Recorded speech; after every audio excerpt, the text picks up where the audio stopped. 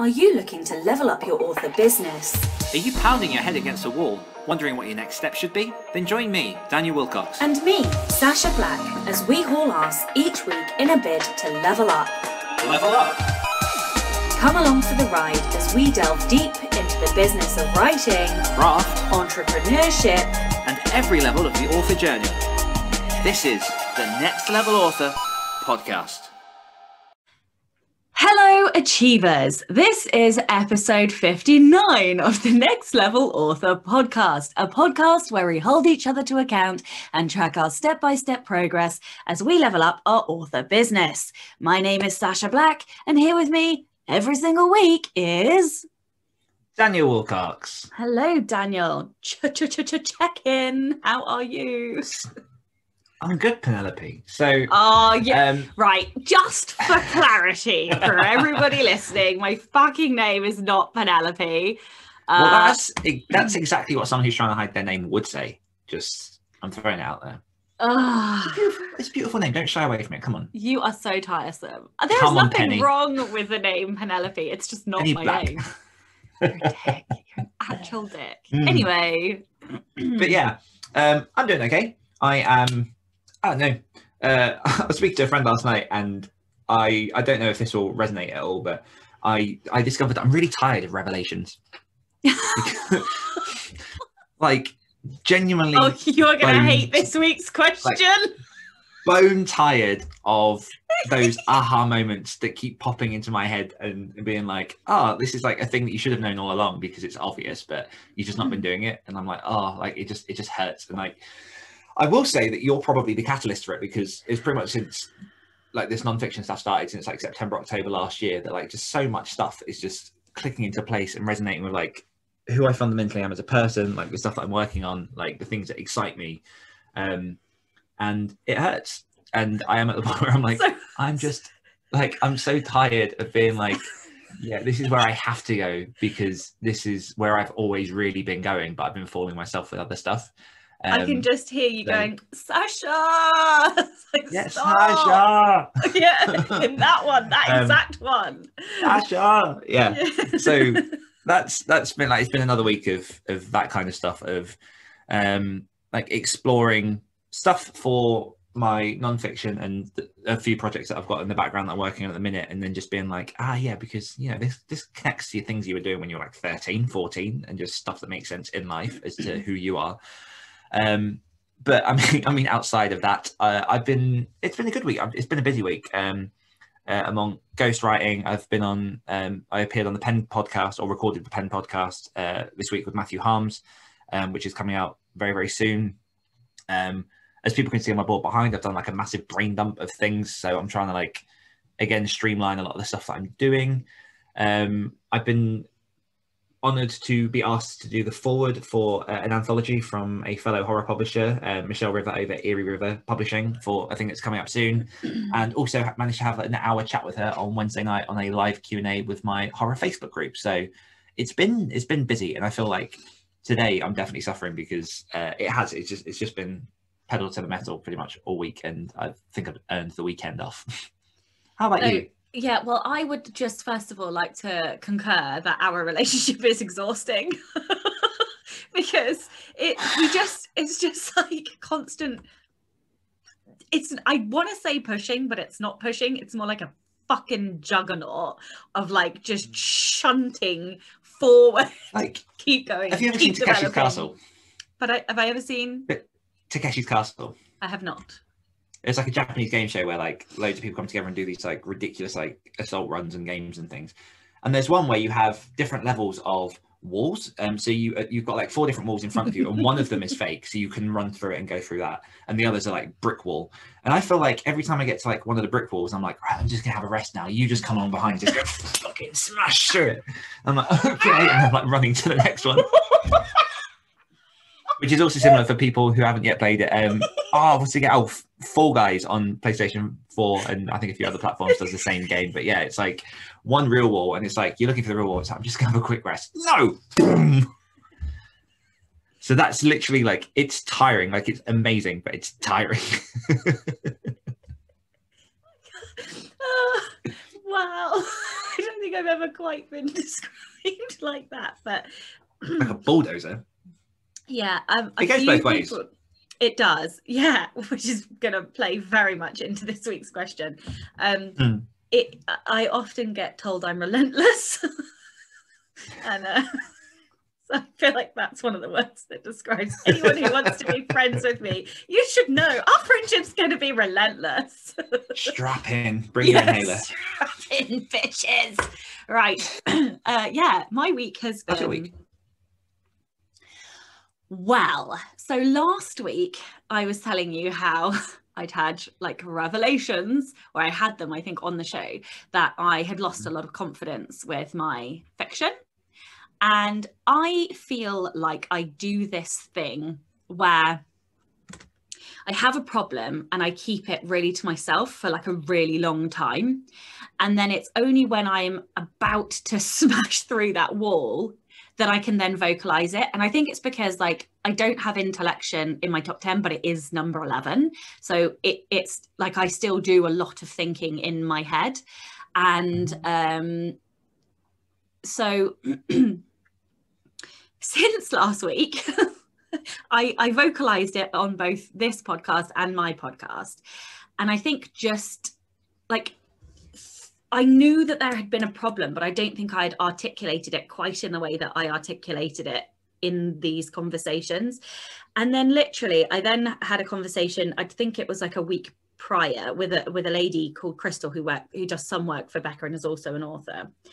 And she gave me permission essentially to write short, a short story without reams of conflict because obviously you know when people talk about short stories you when it's like a short story you're submitting for like an anthology or whatever you know it still has to have some kind of development or arc or whatever. And she was like but if it is just as a reader magnet she was like you can show a scene or you can show like uh just you know like a fun thing. It doesn't have to be full of conflict. She was like these are readers who have already read your book.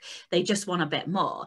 And so i have a two month gap between my first book and second book. And so i wrote a load of stuff that happens between that. And i and i put conflict in because there's like like banter tension conflict in in dialogues and stuff. But there isn't like i was looking for a story that had like a complete full story arc and stuff. And that was what was making it very difficult in my head. Anyway long and short of it is i wrote a 4000 word reader magnet this week which is oh, something Oh yeah, you did. like yeah i fucking did. And it is something that has literally plagued me for four years. And in doing that coming looping back round in doing that i think it has gone some way to unblock this psychological issue that i had with fiction. I also went back and reread keepers and i've got a shit ton of sticky tabs that i need to like write up. I've started writing them up. Um, and i'm going to read victor this coming week. Um, i think this coming week. I need to no maybe the week afterwards. Basically i need to do it just before i'm about to do the final edit on Trey. Um, anyway, the conclusion is this week that I think I have learned two things. The first thing is that I never really talk about a thing until I'm almost got the solution, which is interesting for me personally. And then the second thing is I think I have yeah like unblocked a bit and I feel not I wouldn't say I feel confident but I feel like I found the fun again, if that makes sense. Because I had fun writing that. And that was the problem. Like Trey was not fun to write because I'd put these these blockers in. Yeah, so that's my Really, really exciting. So I, I'm muting my mic just because, again, as people who listen to the show know that my MacBook likes to have hissy fits when I'm recording for some reason. So I'm trying to get rid of the background buzz. But that is that is um, super exciting. I think it's it's something that comes up a lot with um, authors that I speak to. Is just that that moment of like, oh, why why is writing the fiction hard? And then most of the time it comes back to like, well, are you finding the joy in the process? Like, Yeah. are, you, are you enjoying the thing that you're doing? And Mhm. that can re- be the block because when you're writing a series, like you're you know rightly doing, you're working through the series and get bringing it to a close. And because you don't want to just like leave a series half open because there's so much lost potential there. But at the same time, as in your case and as in my case with um, the right as well, there's a lot of uh, evolution of the writer in in between those times. So it's finding that balance of like being able to enjoy the story while still delivering the consistency of the story that you have written already. Mhm. And it's a tough challenge. it is a tough challenge but i feel like i'm starting to figure out how to make it fun again so that's cool um okay so uh do we have a success of the week We do. We have Tracy Lovelock, who says, I sent book six of my series off to my reader team. This will be the final book in the series, so I hope I get feedback that will help me make it rock. I feel pretty good about it, but I know there's always room to improve, um, which I love because obviously, like every any book that you go out, there's always going to be room to improve. And I like that recognition of being happy with what you have done, but knowing that, you know, your readers are hopefully going to make it better. i feel like that was a success last week I feel like it wasn't, but if it was, then double congratulations, Tracy. yeah and maybe we should delete Yeah. that out of slack Fine. so we have we have two new patrons this week don't we would you like to tell everyone about our new patrons So we have uh, Kate, and I'm probably going to mispronounce your second name. I'm really sorry. It's either Swed or Swede. Um, so Kate, welcome to the tribe, and we've also got my buddy Luke Condor who has joined in and is uh, getting involved. So um, we also had our Patreon live Q and A yesterday, which again time lapse. Uh, not yesterday. Oh my god, it's Friday today. we had that on Monday. Um, so again, time travel. That was like eight days ago, but like I I will say I really really enjoyed um chatting with everyone particularly that week like I always do but we went really sort of deep on um like what it is to be a writer like some of people's difficulties and problems and stuff and just kind of banded together as, as, as a team to answer those questions. So thanks to everyone that joined in on that call. Um it was really like I, re- I really enjoyed it. I came away quite inspired by that. Okay. What have you enjoyed this week? Um, I think it, I said this last week as well, but I'm going to carry on with it. Um, oh my god, computer, really? Like, I said to you before we started recording, I'm waiting for this just to start levitating off of the goddamn table. I need, yeah, I need to find a solution. Anyhow, um, web web building again. So I've gone through and done like a massive overhaul on some of my pages on my website. There's still more to do, but because of the photo shoot that I had with um, my buddy Ed from Last Month Photography a couple of weeks ago. I've got like loads of uh, pictures that are really useful, and I've just basically just relayed out the page, and I'm trying to make it so that it's easy accessible to see like what's available, how I can help people, um, the different things that are on offer. And yeah, I'm just I'm just like really enjoying playing with the Elementor builder and the creator and, and throwing some stuff together. Um, so yeah, I, I did a big overhaul of the help for writers page I've got a page on there for the self-publishing blueprint, which is um, danielwillcocks.com slash uh, blueprint. Um, and yeah, like, like I said, I've got a few more because I want to bring it all in line and make sure it's consistent across the website, but that's an ongoing project. But it's just, it's quite therapeutic. Um, it engages the design things that I like. Um, I'm also marketing background, so it's also really sort of strategically interesting to try and work out best how to layer a website and make sure that the important things are coming through and the stuff that is important but isn't sort of the first point of call works and that it's sort of leading people down the, the right trail. So yeah, that's all on there and I'm very, very happy with that. How about you? Uh, well, and I have to say, I am very impressed with your website. It is super slick and sexy. Oh, and um, well, you know, credit where credit's due, I suppose. um, but yeah, no, I was very impressed with your website, and uh, I basically think you should probably start selling your skills because wow. I mean, yeah, if anyone does want to get in touch, then go for it. I'll, I'll have a talk. Not that I I want to be a web designer, but I yeah, I am. I do enjoy it.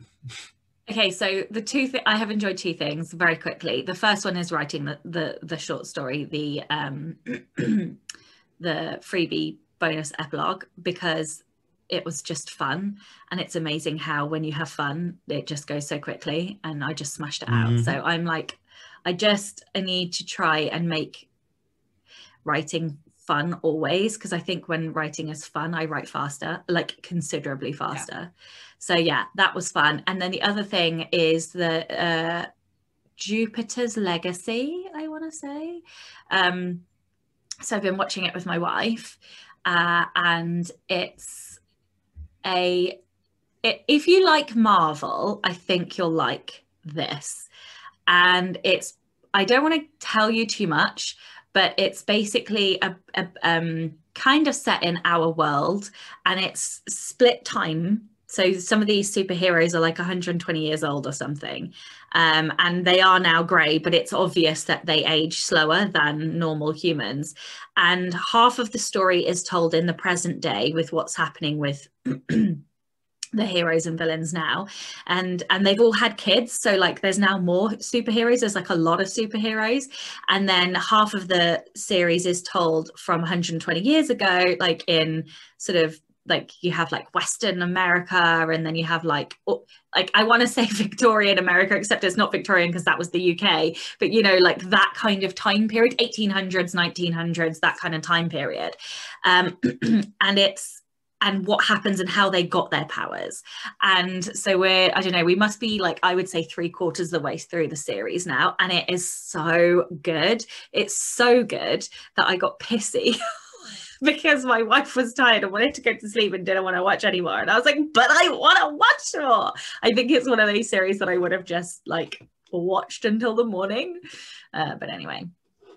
Alrighty. Nice, sounds good. Weekly confessional, and I don't know what I'm supposed to do. Do you have it with you? Sacha will start reading Keepers and record more of the villain's audiobook. Oh, oh, oh. So here is my completed read of Keepers. I have. No, you're meant to it. start reading it, so you failed. You're not meant to finish it. Oh. to start. uh, yeah, well, I finished it, so too bad, buddy.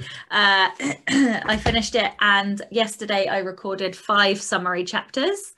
Uh, and I have also edited them. So I've done a bit more work. So they are now ready to go for proofing and then they'll go for mastering. Nice. Um, and today, this afternoon, I think I'm going to record two chapters, two full chapters rather than summary chapters. So that should be good. So, yeah. How about you, buddy? I will promote Self Publishing Blueprint and look at when I'll next take time off and finish critiquing the side characters book. And yeah, I took all of those off. So uh, Self Publishing Blueprint, I started promoting on Monday. I've got some stuff scheduled and lined up to continue going out. Um, I've been on a couple of podcasts to promote it. And time off, I'm looking at the f- second full week of August, which falls into summer holiday. So I'm gonna I need to have conversations with them. Um, my boy's mama to work out how that's going to work in terms of that. But in terms of that week off, that's that's what I'm doing. Um, and then, yeah, I finished the critique read of side characters and handed all the notes over to you earlier this week. So that's all done. Awesome. Alrighty, Com- uh, comments. Okay, so last week uh, was question. It was episode 58, and the question was, "What are your three core values?" Yanni put, I love this episode. You both are authentically you, and I don't want either of you to change at all. Aww. Between the two of you, you've changed my entire writing life. Aww. No, that's it, Sacha. Uh, when it comes to my values or what sums me up, I struggle to pin it down because I don't tend to look inward often. I know I'm an empathetic person and have been told I'm a good listener, but I don't think that counts as a value. In the future, I'd love to be seen as someone who just went for it, did the thing even though she was crapping her pants. This doesn't answer the question. But I think it kind of does because it does tease at some of those core fundamental things that make you you. Mm. So sometimes it's about taking that sort of more abstract concept and then just narrowing it down to a word or a thought or a feeling um, that represents you. All right, aggressive. Wow. It's happening this morning. There a ghost in there? Little ghosties. Uh, Nathan says, I seriously love this episode. My three core values are helpful, surprising, and constant improvement. Holly says, I really enjoyed this episode too. I need to intellect on number two and number three, but my big core value is freedom, financial mm. freedom, location freedom, and time freedom. Edwin says, I'm stumped. First, I need to figure out the language I need to use to define what a core value is. It doesn't help that Sacha Black spun my brain around by having an epiphany reading my response to last episode's question. I'm supposed to be the one having epiphanies listening to you. Yeah, sorry about that, but it is what yeah. it is. Maggie says uh, bright minds, grey hair, and dark humour, which I absolutely love because that's very, very specific to you. Uh, Luke is similar, which is uh, so the three core values come down to these sentences to tell stories that are loved all over the world, to be the underdog, and to strive for uniqueness in everything I do. Mm. And then one more. That uh, definitely. Meg, sorry i just that, that that those are definitely like i don't know him hardly well at all but obviously i know just from things that you've said and obviously i've heard him talk uh, in the nice things yeah but um, no but like the uniqueness is definitely him like and that's in his mm-hmm. work as well which i think is amazing so i love those values 100%. Uh, and one more, Meg, uh, which is finding meaning, freedom, and belonging and acceptance. Belonging slash acceptance in that. Yeah, one. they definitely strike me as uh, Mm, fully love those. accurate. Yeah, I do too. Mhm.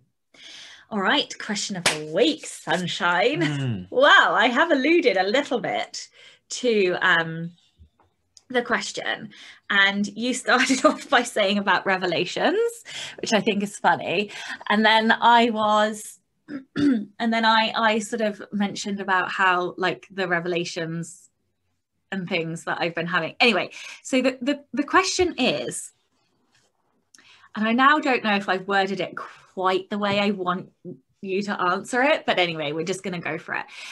How do you soul search?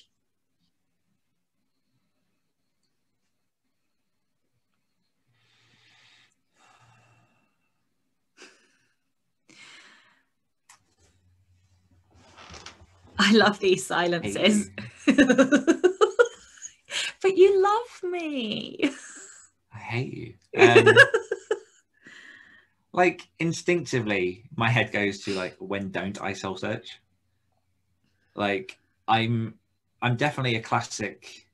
I don't know. If, I don't have to overthink it, but I'm always thinking, and in pretty much, you know, everything I do, I seem to sort of bring things back to bigger questions of like, like I'm, I'm the type of person that when I used to get the bus on the way to and from work, I'd be looking out the window and just looking at everything and just going, like, there's nothing within sight that isn't touched by the hand of man.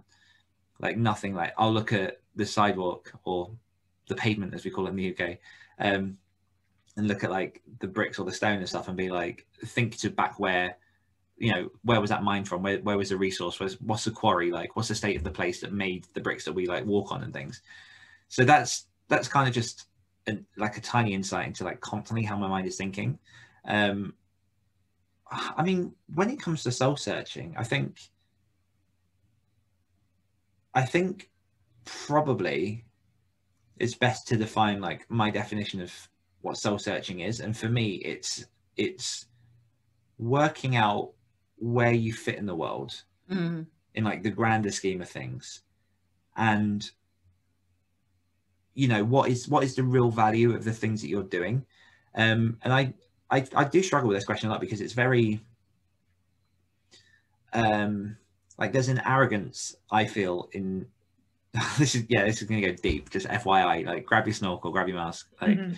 um I, I feel like there's an arrogance in humanity to go we have to have purpose there has to be a meaning to life because we're here for like a fleeting amount of time and then we're gone and ultimately ultimately this is yeah ultimately in the next like 100000 100000 year- what like, however many years like all of this will be gone because that is just the way of things. That is just what happens.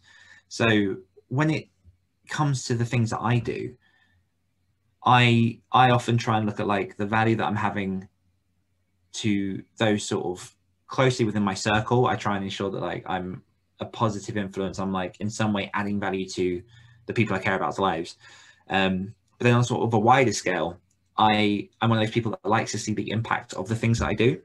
I think this is one of my um latest revelations in terms of things that i'm doing because with fiction and releasing books out into the world you are hitting people and you do get uh, reader emails back and you can see sort of like the impact that you have with your imaginary world.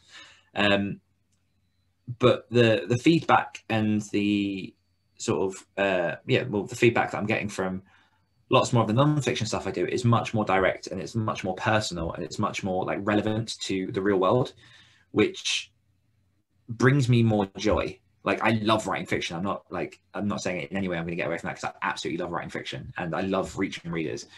But just a lot of what i've done through my life it's always been a case of me trying to like consider the other person. And that was one of my problems when i was kind of coming out of university and over the last 10 years is that i would give so much of myself that i'd leave nothing left so now it's a case of i'm spending so much time working out how can i be the best be me that i can be while still having enough to bring to others um so that kind of gives a bit of perspective of like how my mind works and, and where I sort of sit on soul searching.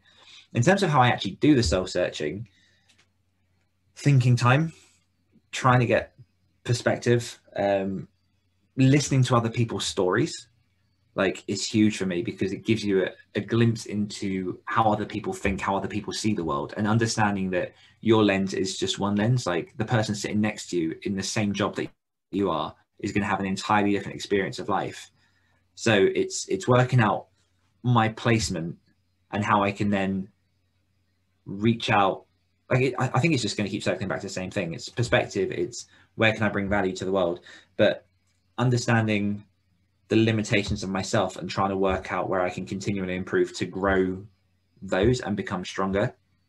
Um, like films, films are often like really good for me. I do like, I do love a good motivational film or like documentary where it like really shows sort of like the heart of like, you know, positive humanity.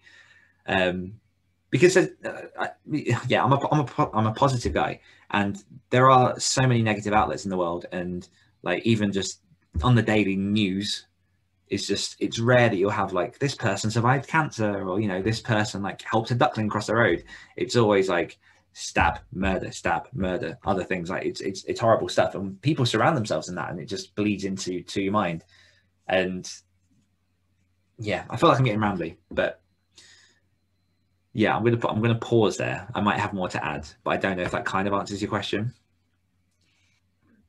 Any answer you give me is is the right answer because that is the purpose of these questions is just to provoke thought into oneself in order to improve. So you know i do um, i do massively love mountains and lakes. Okay. Oh oh okay. I see. I see. I yeah, also love like, those two things. Yeah when you can get to them like when um, we went to edinburgh for the 20 books edinburgh conference like one morning i got up at like four and climbed up uh, was was it St Michael's Mount? No, that's the thing down in Cornwall. Um, the big the big mount that was nearby where we stayed. I climbed up there at like four or five in the morning and watched the sunrise just by myself, and it was just beautiful because you get to see like the city, the town, like you get to see like you know the world working, and it was it's that kind of stuff that really like gives you a bookmark in in your life and goes now you can stop and think. Yeah. So also i gave up the news like 10 years ago uh, because i just couldn't stand like i would get to work and i'd be angry. angry. yeah that that i yeah. was getting when i this i gave up when i was in the day job uh, which was controversial because i worked in like local government and so you had to be up on politics and and the news and i just i was like no fuck this i'm going to work angry every single day and it's because um you know it was filling my brain with shit anyway i'm not going to rant about the news. Um so I, I asked the question because, as you know, I've been feeling lost for a little while, and mm. and I still feel lost, and I and I feel like I'm at a juncture, and I don't know if some of that is because I am watching what you're doing from afar, like one one or two steps removed, and we are mirrors for each other because you know we are we provoke those we ask the questions each week and then also like help support nurture each other to you know grow our businesses. And i've had a few people say to me it feels like you're at a t junction or like you're at a juncture. And and i think i'm paused because i don't know which way to turn. And i'm not even sure that left or right has a has a road label and that's the problem like i can't i don't know whether to turn left or right and and left or right doesn't have road signs so i'm not sure what left or right is and so that's why i was asking because normally i think a lot of my soul searching happens when we go on holiday or we travel because uh-huh. you know you're out of your situation and it just gives you that time and head even though i'm not like this is the weirdest thing. I, when I, when we go away on holiday, we're just like swimming in the sea together, or we're having lovely dinner meals together, or we're you know having a gin and tonic on the porch or whatever. And so I am not doing any intentional soul searching or thinking, and yet I come away and I have done exactly that. I always come away with an answer. And so I don't I, I don't have I this period of feeling lost has extended itself because I haven't done that. We haven't gone away. I haven't had time like out. And um, so that's why I wanted to, to know because I don't I don't know I need to resolve this or to take action or do something to resolve this. But the problem is it's like I'm looking in I'm looking through fog and I can't there are things that I want to do long term that I don't necessarily think I should be doing right now because it would be too much of a, a of a turn. And then there are other things that like you know i want to do more fiction or, or, i want to you know do more non-fiction or i want to get courses or i want to do finish my audiobooks and i don't know so yeah like i definitely feel lost and like i'm not sure what I should be doing anymore. And I think part of that is because we've been doing this for two years now, and that is the honeymoon period is officially over. You know, you're going to survive. Um, you know, so now what? Now what? Now what is next? And yes, I have these gigantic goals, but like you said, they are a long way away. And yeah, I don't know. So I haven't really answered your question, other than uh, my question, other than to say I used to do a lot of soul searching when we traveled, and that's just not an option right now. And so I don't know. I don't know. Yeah, I just I'm lost, and I'm looking for a way. I'm looking for ideas for how I can take action to unlose myself Does that make sense? Yeah, absolutely. I think you've already answered your question. I've said this to you before. What do you mean? I've already answered my question. What? You said the best time when you soul search is when you travel or when you do things. You were able to travel in the UK. Those those options are available. Yeah, that's I not... think I think just I just literally think that like a week away from being in the house is the best thing you can do right now, considering since the start of this pandemic, there has been no break from the work, the move, like homeschooling, all that kind of stuff. Like you said, it's been uh, over two years since your last break, I think, or like nearly two years. So even like a long weekend or you know a week just in a hotel in Yorkshire or I don't know like Scotland or Cornwall or Wales or somewhere away where you can see like a beautiful part of the UK Mm. Even though it's not your conventional like traveling abroad and whatnot, it's just getting away from where you currently are. There is no break because where you're like because I know with moving the room around that you're currently in, obviously that gave like a little bit of like a change of mentality because it's fresh, it's new, and you can like it, it tricks the brain into thinking that like it's a different environment and you can reset the rules in your mind. Mm. But then there needs to be that break. Like that week off I took um, a couple of weeks back, like has just cleared so much stuff out of my system and that doesn't mean that things have gotten like infinitely easier it's still definitely like a slug but just taking that time off removed me enough that i can think about other things and i think that i think a part a, a lot of the revelations and things i'm having at the minute are part of the tail end of that time off because it's allowed things to percolate it's allowed me to look at things slightly differently and then really start to like feel my way forward, see my way forward, and then start to like create action plans. Mm. Because again, the stuff that I'm looking at now isn't exactly what we were looking at when we were strategizing and doing strategy days like a few weeks or months ago. Yeah. But that's not a problem for me because it also still goes towards the goals that I set for this year in terms of like income and sort of product and whatnot. So I generally, I, you mentioned it twice when you were saying about how like that's one of the key things that you can do. I just think you need to pick a date, like a week talk to Chloe, make it happen, and go, here it is. Like hire a freaking castle in Aberdeen. I don't know. But you like, yeah, do, I mean everything is so booked like, and expensive in the UK now. That's the problem. Everybody's already booked up. Also, I just want to go away. I have offered you a free holiday. I know. I it's. I know, just, I know it's not your usual, but the offer is there. and I'm not going to explain that any further to people who are listening. Yeah. Um, yeah. Yeah. I need some perspective. I'm waiting mm-hmm. for them to put Holland on the uh, on the the travel list because yeah, and the Netherlands is not on the green list yet. And then when when they do that, I am gone. I will be going to see my dad, and the, he lives like by the beach. So we, you're also a person that you do like to be in control of your time, of your work, of the things that you do. Mm. And in waiting, isn't that just creating further anxiety for you? Because you don't know when that's just an unknown. That's like a, a variable that you can't control as to when you can go to Holland. Yeah. So for me, that would that would just add extra angst because it could be next week. It could be like a year from now.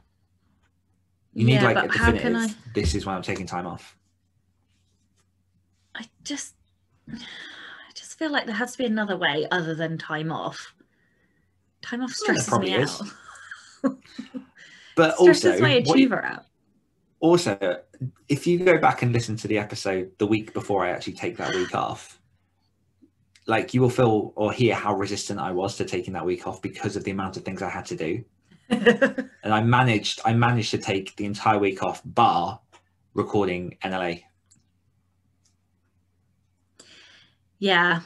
I mean, I can't, I literally can't. Until I've sent off the manuscript to the editor, I'm not going to take time off. Once I've given side characters to the editor, then I know I'm going to hit the deadline that I've said for the end of July. Mhm. Like, because even if I do no marketing, I know it's ready, I can put it up and, and like I am now accountable for that date. So I'm trying, I can't knowingly take time off until I have done that. Um, but yeah, maybe I will after that. I don't know. Well, I'll, uh, yeah. I mean, you will. Otherwise, I'm banning you complaining about it. This is meant to be about soul searching, not for pushing me to take fucking time off work. So you can soul search. Ugh, you are so tiresome. Let's finish this episode. That's what I All right. So, how are we leveling up our business this week?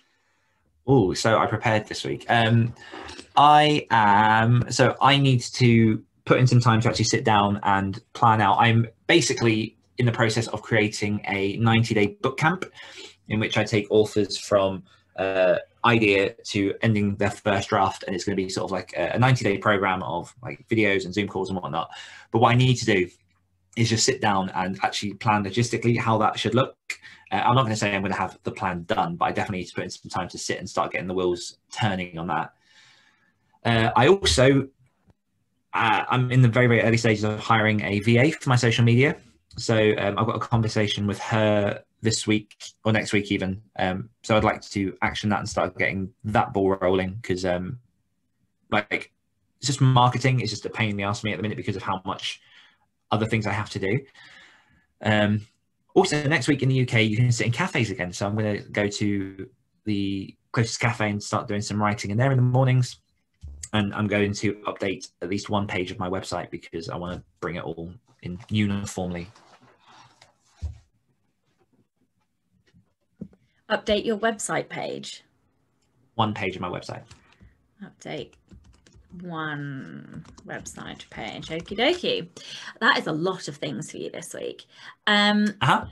so for me, I am going to work on CP edits. So your edits and Kate's edits. Um, and I am also going to sit in a cafe and uh, I think I might try and like sit in cafes and work on words every morning. Uh, except f- I'm not going to do that next week because I'm editing. But then, like, once that's out of the way, I think I might like try and just work on fiction every single morning. Uh, I don't know. It depends how many things I can hold in my brain. I say that now and seems like a good idea, and Yeah. then I'm going to try and do it and have five thousand other things that I'm doing and not be able to do it. Um, but yeah, so I'm also going to go. Take a what? break. hmm Go on. Why are you such a knob? This is this is like this is Why are you so resistant? because I get so many energy pennies by doing. Like that is my achiever by getting work done. Like even when I go on holiday, I like to do like just a little bit in the morning because it makes me happy. So It's not- that. But do it outside of that room. I will have a word with you about this afterwards. This is Okay. I will talk to you about this offline. Um Uh oh, I'm in trouble. I'm glad you can tell. Mommy's angry. Yeah. Okay, so I'm going to work on my critique edits. I'm going to sit in a cafe and um Might see you there. I feel like I've got I've got a lot of other things to do, but I just don't want to add anything else. Like my one goal for next week is I'm looking at my to-do list. My one goal for next week is to get get the CP stuff as much done as possible. So yeah, that's it. Okay, so question of the week this week is how do you soul search? And we will see you next week. Bye bye. Bye. Hungry for more? If you enjoyed this podcast, you can hear more of my angelic accent and Dan's dulcet tones on our other podcasts. For more of me, check out the Great Writers Share podcast. For more of me, listen to the Rebel Author podcast. We'll be back next week holding each other to account as Dan And Sacha, become Next level. Authors. Oh, oh, hello. Oh, hello. Oh, look. She's back. Hello. I'm so tired. Oh, hello, Chicky. We're going to have a competition. Someone's going to win. oh, oh, I'm hysterically There's your Easter egg. Oh my god. I can't. It's hysteria. I'm so fucking tired. Okay.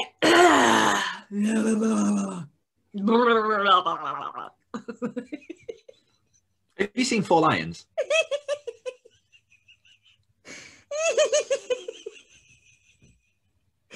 oh, oh, I'm so tired.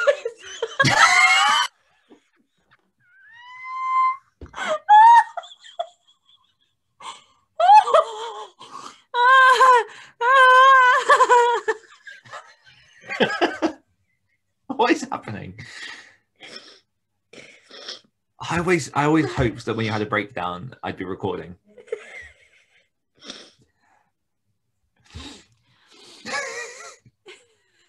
you right?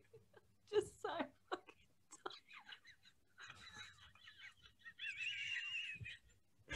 tired. Mate, I'm just so tired of everything. I don't know if I'm crying or if I'm laughing crying. Okay. Oh, hello. It's my wife. All right now. I'm all right. I'm all right. Hello, it's my wife.